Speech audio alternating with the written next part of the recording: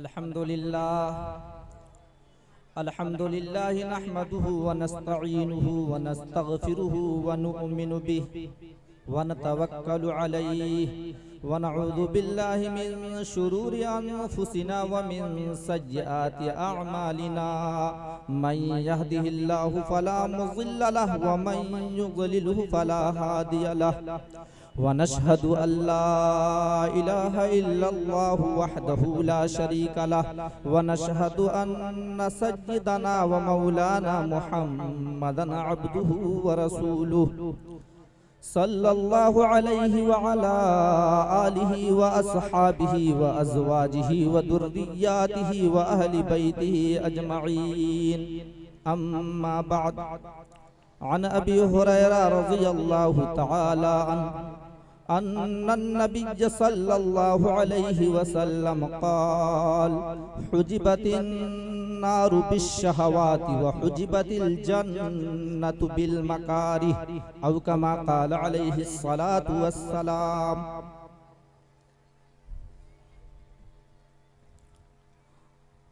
معزز بزرگوں اسٹیج پر رونق افروز علماء کرام اور پردہ نشی، ماں اور بہنوں۔ جو حدیث پڑھی گئی ہے ابھی خطبے کے اندر۔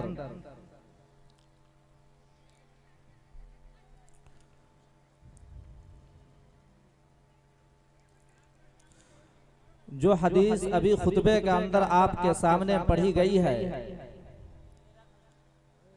یہ صحیح البخاری میں امام بخاری علیہ الرحمہ نے باب حجبت النار بالشہوات کے نام سے ایک عنوان اور ہیڈنگ قائم کیا ہے۔ اور اسی عنوان کے تحت اس حدیث کو امام بخاری علیہ الرحمہ نے بخاری شریف کے اندر ذکر کیا ہے۔ اس حدیث کے راوی حضرت ابو حریرہ رضی اللہ تعالی عنہ ہے۔ اس میں سرکار دو عالم جناب محمد الرسول اللہ صلی اللہ علیہ وسلم نے ارشاد فرمایا کہ دوزخ پر خواہشات نفسانی کا پردہ ڈال دیا گیا ہے۔ اور جنت پر ان چیزوں کا پردہ ڈال دیا گیا ہے۔ جن کو انسان گراں بھاری اور مشکل محسوس کرتا ہے۔ میرے بزرگوں اللہ تبارک و تعالی نے اس کائنات کو اس عالم اور اس دنیا کو انسانوں کے لیے آزمائش اور امتحان کا گھر بنایا ہے۔ اس آزمائش کا تقاضا یہ ہے کہ انسان اپنی عقل سمجھ بوجھ اور ہمت استعمال کر کے اس آزمائش میں کامیابی حاصل کرے ذرا غور کیجیے کہ اگر اللہ تبارک و تعالی جنت پر پردہ نہ ڈالتے، جہنم کو پردے میں نہ رکھتے دوزک ہماری نظروں کے سامنے رکھ دی جاتی جس میں جلتی ہوئی آگ نظر آ رہی ہوتی۔ جنت کے اندر موجود سانپ اور بچھو جہنم کے اندر موجود سانپ اور بچھو نظر آ رہے ہوتے۔ دوزک کے عذاب کا آنکھوں سے مشاہدہ ہو رہا ہوتا۔ اور دوسری طرف جنت بھی ہماری نظروں کے سامنے رکھ دی جاتی۔ جنت کے اندر موجود جو نعمتیں اللہ نے رکھی ہے، جو آشائشیں اللہ نے رکھی ہے، وہ نعمتیں اور آشائشیں ہماری نظروں کے سامنے رکھ دی جاتی۔ جنت کا پرکیف مناظر ہمارے سامنے ہوتا۔ پھر اللہ یہ کہہ دیتے کہ تم دونوں راستوں میں سے جسے چاہو اختیار کر لو۔ جنت کا راستہ چاہو تو اختیار کر لو، جہنم کا راستہ چاہو تو اختیار کر لو۔ تو میرے بزرگوں ہر کوئی جنت کا راستہ اختیار کرتا، جہنم کا کوئی راستہ اختیار نہیں کرتا۔ اس لیے کہ ہر کسی کو دکھائی دیتا کہ جنت کا راستہ ہے، یہ جہنم کا راستہ ہے۔ جنت کے عیش و آرام بھی نظر آتے اور جہنم کے جو عذاب ہے وہ بھی نظر آتے، ہر کوئی بچ لیکن میرے بزرگوں اس میں امتحان نہیں تھا۔ اس میں کسی طرح کا امتحان اور آزمائش نہیں ہے۔ اس لیے اللہ تبارک و تعالیٰ نے جنت کو بھی پردے میں رکھا، جہنم کو بھی پردے میں رکھا، جہنم پر خواہشات نفسانی کا پردہ ڈال دیا گیا کہ اگر انسان اپنی زندگی دنیا کے اندر منمانی زندگی گزارے گا، اگر انسان اپنی زندگی جو ہے خواہشات نفسانی کے مطابق زندگی گزارے گا، اگر انسان اپنی دل کی سن کر کے زندگی گزارے گا، اگر شریعت سے ہٹ کر کے قرآن و حدیث کے احکام کو بالائے طاق رکھ کر زندگی گزارے گا۔ اللہ کے رسول صلی اللہ علیہ وسلم کے احکام کو بالکل نظر انداز کر کے زندگی گزارے گا تو ایسا انسان جہنم کے مستحق ہوگا۔ تو اس میں آزمائش ہے اس میں امتحان ہے۔ اس لیے جہنم کو بھی چھپا کر رکھا گیا اور جنت کو بھی پردے میں رکھا گیا۔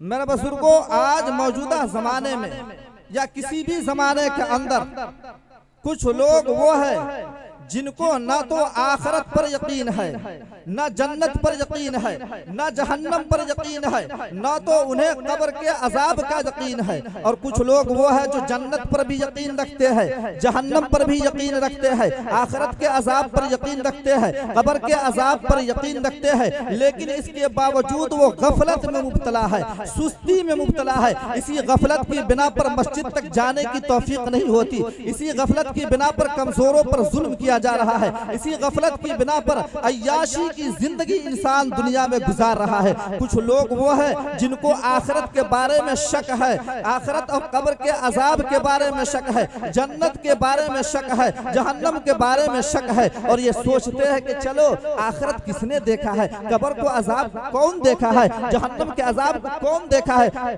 آپس میں بات کرتے ہیں کہ جہنم جہنم لوگ کہتا ہے تو جہنم کو دیکھا کس نے؟ ہے جہنم کو دیکھا کس نے؟ ہے، جنت کو دیکھا کس نے ہے کہ جنت کے ہم تیاری کرنے جائے جہنم کے آگ کو دیکھا کس نے ہے کہ ہم جہنم سے ڈرنے جائے یہ لوگوں کا سوچ ہے، یہ لوگ آپس میں گفتگو بھی کرتے ہیں۔ لیکن میرے بزرگوں میرے بزرگوں اور حاضرین جلسہ، ذرا میری بات غور سے سننا۔ آج سے چودہ سو سال پہلے غیب کی خبریں لانے اور بتانے والے پیغمبر آقا مدری صلی اللہ علیہ وسلم، جو اپنے شہر کے لوگوں میں صادق، امین اور سچے کے لقب سے مشہور تھے انہوں انہوں نے خبر لایا اور کیا خبر لایا؟ یہ خبر لایا کہ لوگوں، میں نے جہنم دیکھی ہے، جہنم کی دہکتی اور بھڑکتی ہوئی آگ دیکھی ہے شولہ اگلتی ہوئی جسم و جا سے چمٹ جانے والی آگ دیکھی ہے۔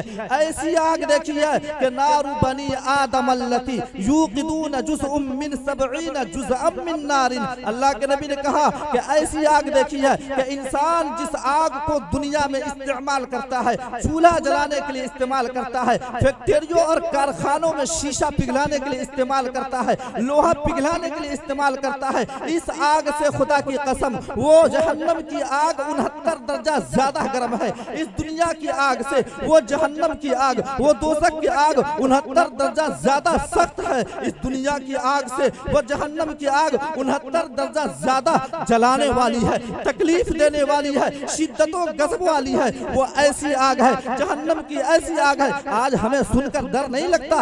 دنیا کے اندر ہمیں جہنم سے بچنے کی فکر نہیں ہوتی، لیکن میری ماں اور بہنوں، میرے بھائیوں، غور سے سننا، وہ جہنم کی آگ ایسی آگ ہے، ایسی آگ ہے جو قرآن پاک کے اندر سورہ یونس کی سورہ یونس کی آیت نمبر ستائیس میں اللہ تبارک و تعالی اعلان فرما رہے ہیں۔ قرآن پاک اعلان فرما رہا ہے، وَتَرْحَقُهُمْ ذِلَّةِ، کہ جب جہنم کو جہنمی لوگ، کافر لوگ فاسق و فاجر لوگ، بدکار لوگ دیکھیں گے، دیکھتے ہی ان کے چہرے کالے اور سیاہ پر جائیں گے۔ وہ جہنم کی آگ ایسی آگ ہے جس کے بارے میں قرآن کے اندر سورہ مدثر کی آیت نمبر اٹھائیس میں اعلان کیا جا رہا ہے۔ لا تبقی ولا تذر کہ انسان جب جہنم کے اندر داخل ہوگا جہنمی موت موت پکارے گا موت کی تمنا کرے گا دعا کرے گا کہ کاش کہ میں مر جاتا میری زندگی ختم ہو جاتی تاکہ میرے اوپر جو عذاب ہے میرا جسم جو جل رہا ہے سانپ جو مجھے کاٹ رہے ہیں بچھو جو مجھے ڈنک مار رہے ہیں، یہ عذاب ختم ہو جائے۔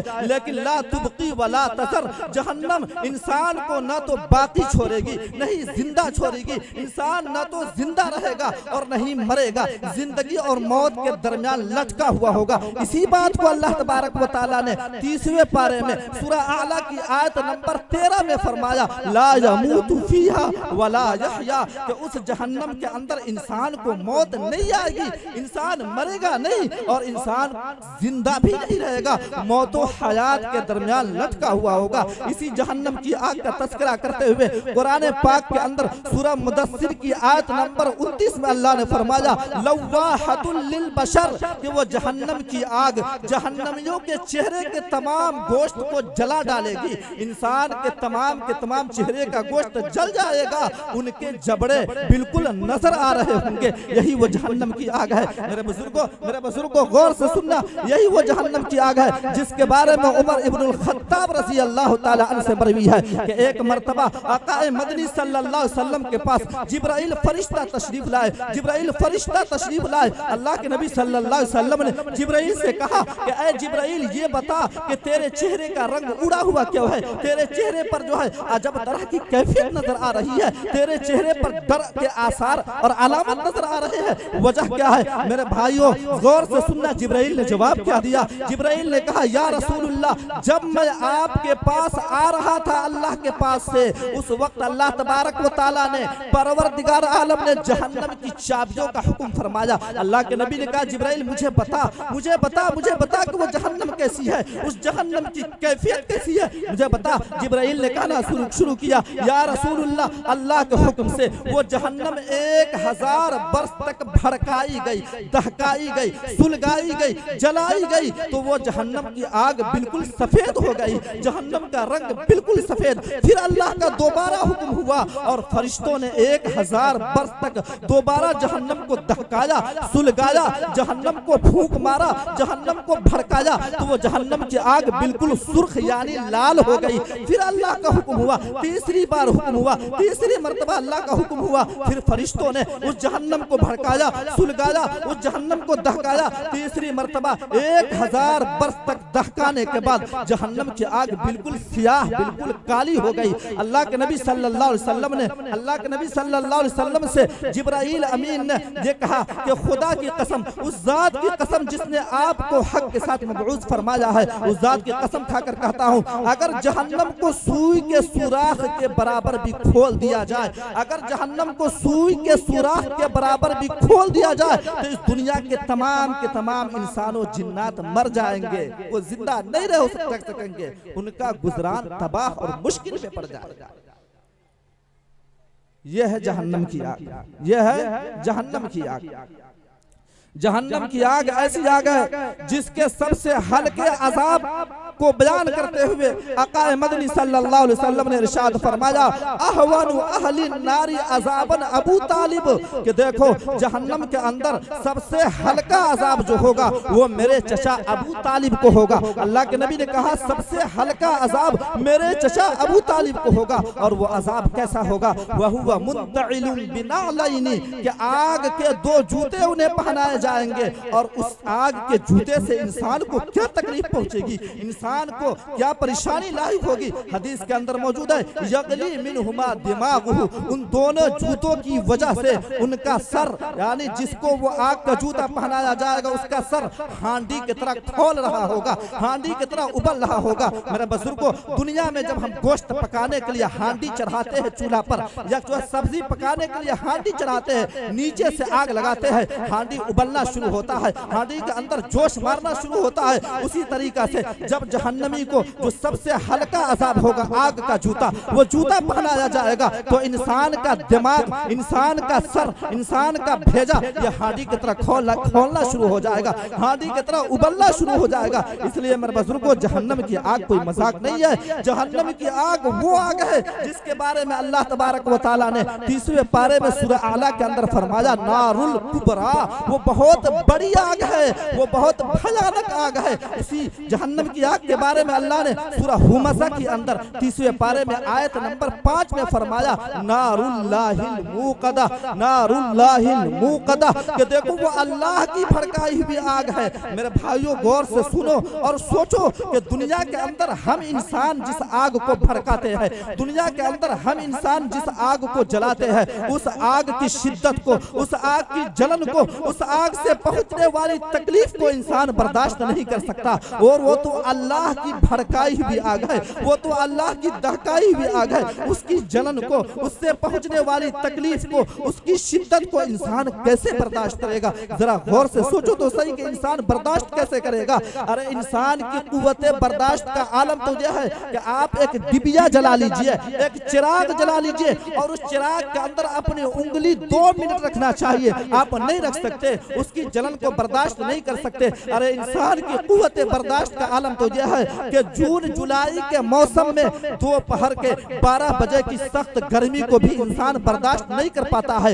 بیماروں، بوڑھوں اور کمزوروں کی موت تک واقع ہو جاتی ہے۔ اور حالانکہ حالانکہ یہ دنیا کی شدید گرمی، یہ دنیا کی شدید گرمی فرمان نبوی کے مطابق، اللہ کے نبی صلی اللہ علیہ وسلم کے فرمان کے مطابق یہ دنیا کی شدید گرمی محض جہنم کے پھیلاؤ کی وجہ سے ہے۔ جہنم کے اثر کی سانس لینے کی وجہ سے ہے۔ اللہ کے نبی نے فرمایا ان شدت الحر من فیح جہنم کہ دیکھو دنیا کی یہ شدید گرمی جہنم کے پھیلاؤ کی وجہ سے ہے۔ جہنم کے سانس لینے کی وجہ سے ہے۔ میری ماں اور بہنوں میرے بھائیوں میرے اسلامی بھائیوں میرے انسانی بھائیوں سوچو غور کرو کہ جو انسان جہنم کے سانس کی گرمی کو برداشت نہیں کر پاتا ہے جو انسان جہنم کے پھیلاؤ کے اثر کو برداشت نہیں کر پاتا ہے۔ وہ انسان جہنم کی آگ کو بھلا کیسے برداشت کرے گا؟ سوچو تو صحیح۔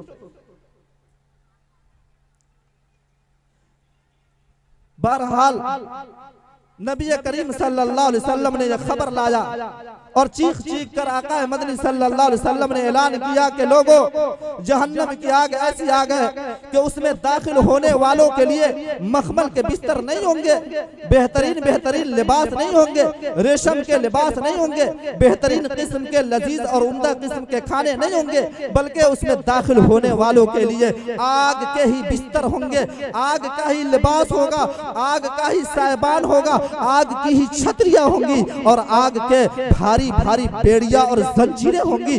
ایسی زنجیریں ایسی زنجیریں جس میں انسان کو جکڑا جائے گا۔ وہ ایسی زنجیر کے خدا کی قسم، اگر اس کا ایک حلقہ، ایک کڑا، ایک سکڑی دنیا کے کسی پہاڑ پر رکھ دیا جائے، تو پہاڑ بھی ریزہ ریزہ ہو جائے اس کی وزن کی وجہ سے۔ اس زنجیر کے اندر جہنمی کو جکڑا جائے گا۔ ارے میری ماں اور بہنوں، سنو، اس زنجیر کے اندر جو ہے انسان کو کیسے جکڑا جائے گا؟ حضرت عبداللہ بن عباس رضی اللہ تعالیٰ انو ارشاد فرماتے ہیں کہ جہنمیوں کے پیخانہ کے مقام سے، پیخانے کے راستے سے اس زنجیر کو داخل کیا جائے گا اور حلق سے وہ زنجیر نکالی جائے گی، منہ سے نکالی جائے گی، پھر ان کو زنجیر میں اس طرح گاتھ دیا جائے گا، اس طرح پرو دیا جائے گا، جس طرح سے دنیا میں ہم ٹڈی کو بھوننے کے لیے، گوشت کا ٹکڑا بھوننے کے لیے، کلیجی بھوننے کے لیے لوہے کے گز میں گاتھتے ہیں یا لکڑی میں گاتھ کر آگ پر بھونتے ہیں۔ اسی طریقہ سے جہنم آدمی کو زنجیر میں جکڑ کر کے،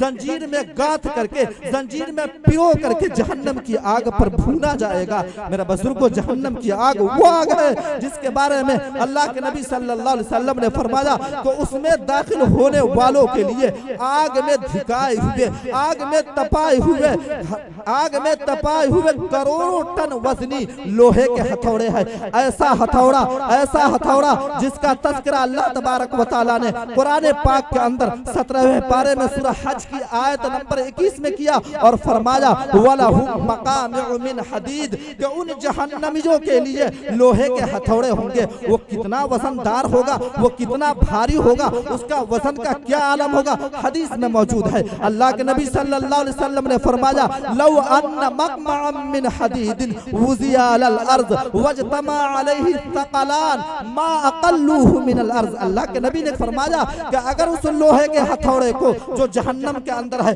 جس سے جہنمیوں کو مارا جائے گا، جس سے بدکار فاسقوں کو مارا جائے گا، اگر اس جہنم کے ہتھوڑے کو دنیا کے اندر زمین پر رکھ دیا جائے اور تمام کے تمام انسان جنات اکٹھے ہو جائے، تمام کے تمام انسان جنات مل کر کے اس لوہے کے ہتھوڑے کو اٹھانا چاہے، تو خدا کی قسم اٹھا نہیں سکتے۔ اتنا اتنا وزن وزندار وہ لوہے کا ہتھوڑا ہوگا۔ حضرت ابو صالح رضی اللہ تعالیٰ عنہ فرماتے ہیں کہ جہنمی کو جہنم میں جب داخل کیا جائے گا، وہ کہیں نہیں رکائے گا۔ یہاں تک کہ وہ جہنم کے نچلے تہ میں پہنچ جائے گا۔ جہنم کچھ دیر اپنے اندر اسے رکھے گی، پھر اوپر کے طرف اوپر کی طرف اچھال دے گی۔ جہنمی کے جسم پر گوشت کا ٹکڑا تک نہیں ہوگا۔ وہ جہنم کی آگ اس کے تمام کے تمام گوشت کو جلا ڈالے گی۔ جہنم کی آگ اس کے چمرے کو جلا ڈالے گی۔ اس کے کے آت پچونی کو جلا ڈالے گی۔ انسان جب جہنم کے نچلے تہ سے اوپر کی طرف آئے گا تو اس کے جسم پر صرف ہڈی ہی ہڈی ہوں گے۔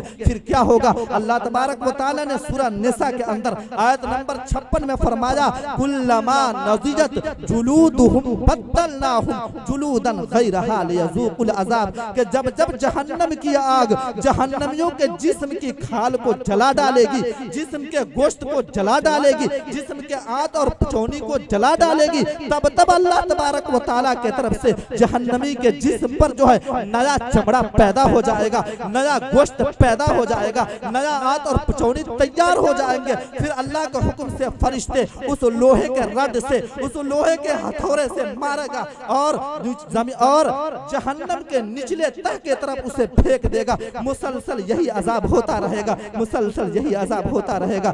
یہ کوئی معمولی عذاب نہیں ہوگا۔ میرے بزرگوں انسان اس جہنم کے اندر روئے گا تڑپے گا چلائے گا چیخے گا اور جہنم کے اندر سے کنارے کی طرف بھاگنے کی کوشش کرے گا پھر اس کے ساتھ کیا ہوگا؟ اس کا تذکرہ اللہ تبارک و تعالیٰ نے قرآن پاک کے اندر سترہوے پارے میں سورہ حج کی آیت نمبر بائیس میں فرمایا کلما ارادو ان یخرجو منہا من غم من اعیدو فیہا کہ جب جب جہنمی جہنم کی آگ سے جہنم کے سانپ اور بچھو کے ڈنک سے جہنم کے اندر موجود عذاب سے باہر بھاگنے کی کوشش کرے گا، روتے ہوئے، چیختے ہوئے، چلاتے ہوئے باہر بھاگنے کی کوشش کرے گا۔ تب تب فرشتے چاروں طرف سے گھیر کر اس کو اندر کی طرف دھکے لیں گے، اس کو اندر کی طرف پھینک دیں گے۔ پھر اسے کیا کہا جائے گا؟ وَذُوقُوا عَذَابَ الْحَرِيقِ فرشتے کہیں گے، دنیا کے اندر فجر کی نماز چھوڑ کر سونے میں بڑا مزہ آتا تھا۔ نماز پڑھنے کے لیے کہا جاتا تھا۔ تو کہتے تھے، بڑی سردی ہے، بڑی ٹھنڈی ہے۔ لحاف کے اندر سے نکلنے کا دل نہیں کرتا، ٹھنڈی پانی سے وضو کرنے کا دل نہیں کرتا۔ اللہ اللہ تبارک و تعالیٰ کا حکم سے وہ فرشتے کہیں گے کہ دیکھو دنیا کے اندر فجر کی نماز چھوڑ کر سونے میں بڑا مزہ آتا تھا، ٹھنڈی کے موسم میں، لحاف میں، سوئے رہنے میں بڑا مزہ آتا تھا۔ دنیا کے اندر ظہر کی نماز چھوڑ کر حلال و حرام کی تمیز کیے بغیر مال و دولت جمع کرنے میں بڑا مزہ آتا تھا۔ دکانداری میں، کھیت جوتنے میں فیکٹریوں اور کارخانوں کو چلانے میں پڑے رہتے تھے۔ بڑا مزہ آتا تھا کہ زیادہ مالدار ہو جاؤں گا۔ دنیا کے اندر میری عزت بہت بڑی ہو جائے گی۔ میری شان و شوکت بہت بڑی ہو جائے گی۔ میں روب و دبدبہ والا انسان ہو جاؤں گا۔ یہ سوچ کر تو نے ظہر کی نماز نہیں پڑھی۔ ظہر کی نماز چھوڑ کر کے مال و دولت جمع کرتا رہا۔ مال و دولت اکھٹا کرتا رہا اور بڑا مزہ آتا تھا۔ اثر کی نماز چھوڑ کر کے بازاروں میں گھومنے میں تمہیں بڑا مزہ آتا تھا۔ سبزی خریدنے میں مزہ آتا آتا تھا مارکیٹنگ کرنے میں بڑا مزہ آتا تھا۔ مغرب کی نماز چھوڑ کر، چائے کی دکانوں پر بیٹھ کر، ہوٹلوں میں بیٹھ کر گپاسٹنگ کرنے میں بڑا مزہ آتا تھا۔ عشاء کی نماز کے وقت فلمیں دیکھنے میں بڑا مزہ آتا تھا۔ سیریل دیکھنے میں بڑا مزہ آتا تھا۔ ٹیلی ویژن کے سامنے بیٹھ کر، نیوز دیکھنے میں بڑا مزہ آتا تھا۔ مؤذن جو ہے، لاکھ اور بار بار تمہیں پکارتا رہا۔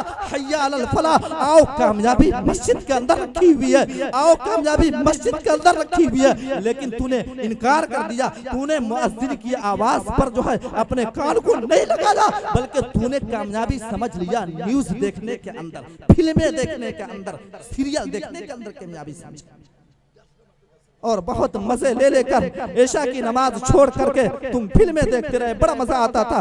دنیا کے اندر تمہیں کمزوروں کا مال ہڑپ کرنے میں بڑا مزہ آتا تھا۔ یتیموں، مسکینوں اور بیواؤں کو مال ہڑپ کرنے میں بڑا مزہ آتا تھا۔ ناجائز طریقے پر کاغذی ہیر پھیر کر کے دوسرے کی زمین پر قبضہ کرنے میں بڑا مزہ آتا تھا۔ دنیا کے اندر عیاشی کی زندگی گزارنے میں، شراب و کباب کی زندگی گزارنے میں بڑا مزہ آتا تھا۔ بازاروں کے اندر بغیر دوپٹے کے گھومنے میں بڑا مزہ آتا تھا۔ دنیا کے اندر اپنی بیوٹی اور خوبصورتی کو غیر محرموں کے سامنے ظاہر کرنے میں، اجنبیوں کو دکھانے میں اپنا چہرہ بڑا مزہ آتا تھا۔ دنیا کے اندر جو ہے ہوٹوں پر لپسٹک اور نہ جانے جتنے بھی خراب قسم کی چیزیں ہیں، جتنی بھی چیزیں ایسی ہیں جس کو شریعت نے منع کیا ہے، اس کو کرنے میں بڑا مزہ آتا تھا۔ دنیا کے اندر اپنی بیوی کے کہنے میں آ کر، اپنی بیوی کے سامنے ماں باپ کو ذلیل کرنے میں بڑا مزہ آتا تھا۔ ماں باپ کو گالیاں دینے میں بہت مزہ آتا تھا۔ ماں باپ کو پیٹنے میں بڑا مزہ آتا تھا۔ تو دنیا کے دنیا کے تمام کرتوتوں کا مزہ آج جہنم میں تو چکھو۔ وَذُوقُوا عَذَابَ الْحَرِيقِ، چکھو۔ ان تمام کرتوتوں کا مزہ جو دنیا میں تم کرتے تھے۔ تمہیں سمجھایا جاتا تھا۔ تمہیں کہا جاتا تھا۔ لاکھ لاکھ بار بار بار لوگ تمہیں سمجھاتے رہے کہ جہنم کی عذاب سے بچنے کی تیاری کرو۔ لیکن کسی کو فکر نہیں ہوئی۔ انسان ایک کان سے سنتا اور دوسرے کان سے نکال دیتا ہے۔ انسان ایک کان سے سنتا ہے، دوسرے کان سے نکال دیتا ہے۔ آج ہمارے سامنے جہنم کا تذکرہ ہوتا ہے۔ جہنم کا تذکرہ ہوتا ہے۔ اور ہمیشہ سنایا جاتا ہے کہ فلاں گناہ کرنے کی وجہ سے جہنم میں یہ عذاب ہے، آخرت میں یہ عذاب ہے، آخرت میں یہ سزا ہے۔ لیکن ہمارے دل نہیں پگلتے ہمارے آنکھوں سے آنسو جاری نہیں ہوتے۔ ایک کان سے ہم سنتے ہیں، دوسری کان سے نکال دیتے ہیں۔ حالانکہ اس جہنم کا جب تذکرہ ہوتا تھا، صحابہ کرام کی مجلس میں تذکرہ ہوتا تھا، تو کیا ہوتا تھا؟ ام المؤمنین۔ حضرت عائشہ رضی اللہ تعالی عنہ جو سرکار دو عالم جناب محمد الرسول اللہ صلی اللہ علیہ وسلم کی شریک حیات ہے، جو آپ صلی اللہ علیہ وسلم کی زوجہ متحرہ ہے۔ جب ان کے سامنے جہنم کا تذکرہ ہوتا تھا، وہ جہنم کا تذکرہ سن کر رونے لگتی تھی۔ اما عائشہ، اسی جہنم کی آگ کو یاد کر کے دنیا میں روتی رہی۔ حضرت عمر فاروق رضی اللہ تعالیٰ عنہ، جو عشرہ مبشرہ میں سے ہے جن کو آقائے مدنی صلی اللہ علیہ وسلم نے اسی دنیا میں جنتی ہونے کی خوشخبری سنائی تھی کہ عمر فاروق جنتی ہے، لیکن اس کے باوجود جب عمر فاروق قرآن کی تلاوت کرتے تھے اور ایسی آیت پر پہنچتے تھے جس میں جہنم کا تذکرہ ہوتا تھا، تو عمر فاروق بے ہوش ہو جایا کرتے تھے۔ عمر فاروق بے ہوش ہو جایا کرتے تھے۔ یہی وہ جہنم ہے کہ جس کا تذکرہ سن کر کے معاذ بن جبل، عبادہ ابن السامت اور دیگر عبداللہ بن نواحہ جیسے جلیل القدر صحابہ اس قدر روتے تھے اس قدر روتے تھے تو ان کی ہچکیاں بند جاتی تھی یہی وہ جہنم کی آگ ہے جس کا تذکرہ سن کر کے سفیان سوری رحمت اللہ علیہ جیسے تابعی اللہ کے ولی ہے وہ۔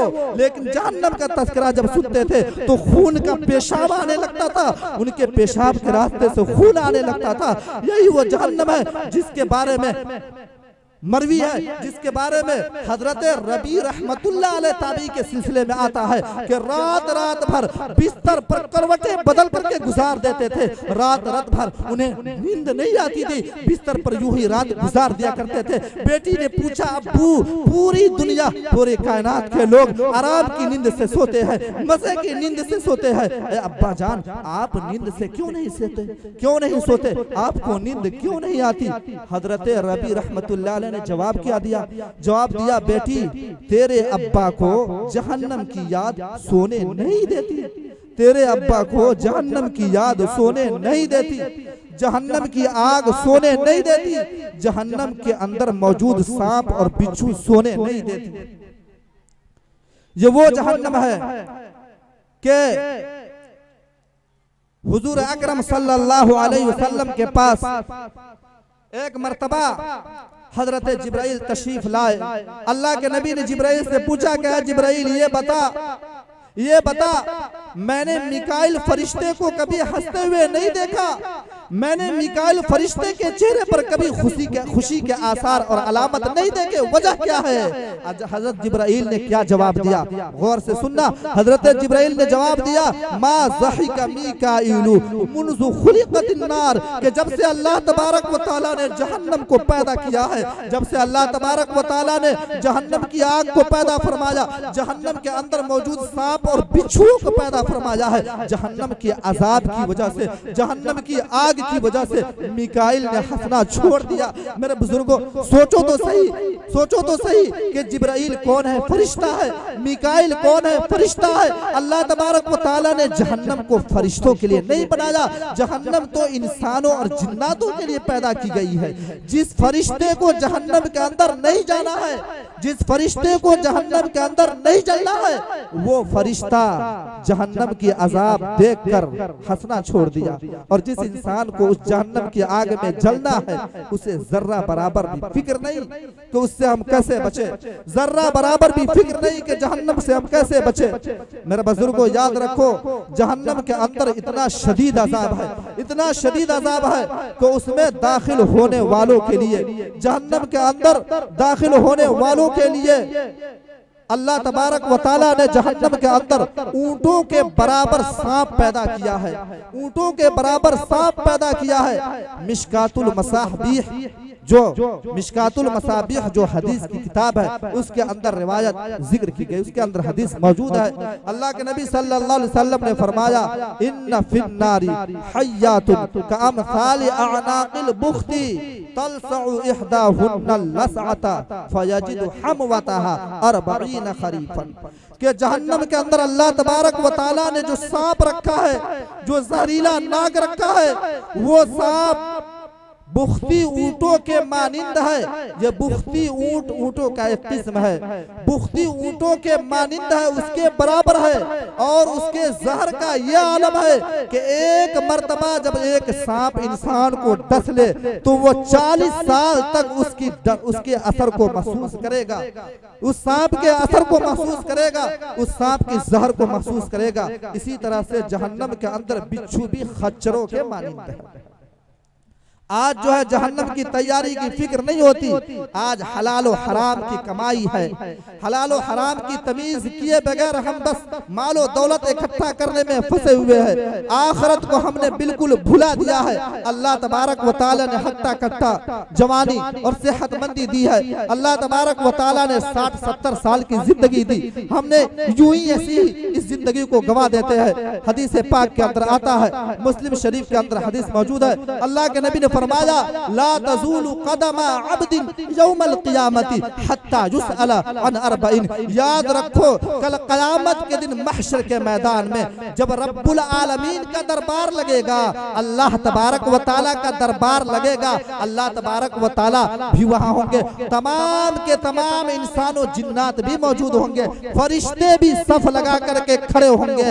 ایسی جگہ پر جب تک انسان چار چیزوں کے سوال کا جواب نہ دے دے دے۔ چار سوالوں کا جواب نہ دے دے۔ چار چیزوں کے بارے میں ہر انسان سے جب تک نہ پوچھ لیا جائے، اس وقت تک وہ اللہ تبارک و تعالیٰ کے دربار سے اپنا پیر بھی نہیں ہٹا سکتا، اپنا قدم بھی نہیں ہٹا سکتا۔ انسان ہل بھی نہیں سکتا اللہ کے دربار سے۔ وہ چار چیزیں کیا ہے؟ اللہ کے نبی صلی اللہ علیہ وسلم نے فرمایا، عن عمرہی فیما افناہو۔ سب سے پہلی چیز جس کے بارے میں محشر کے میدان میں قیامت کے دن اللہ تبارک و تعالیٰ کے دربار میں پوچھے گا، وہ سب سے پہلی چیز عمر ہے۔ اللہ تبارک و تعالیٰ نے انسان کو جو زندگی عطا کی ہے، چالیس سال کی زندگی، پچاس سال کی زندگی، ساٹھ سال کی زندگی، اللہ پوچھے گا کہ تو نے اس ساٹھ سال کی زندگی کو کہاں گواجا اس کے اندر جو ہے تو نے نیکی کتنے کی ہے اور برائی کتنے کی ہے؟ کہیں ایسا تو نہیں کہ اس چالیس اور ساٹھ سال کی زندگی کو صرف تو نے کمزوروں پر ظلم کرنے میں گوا دیا،